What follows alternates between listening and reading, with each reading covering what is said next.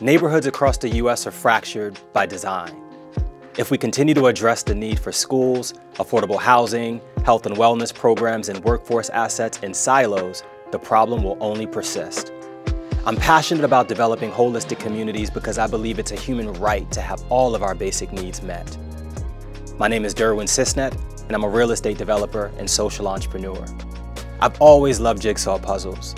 When I travel through tough neighborhoods like the one that shaped me growing up, I don't see worn school buildings and crumbling houses. I see pieces of a jigsaw that haven't been formed yet.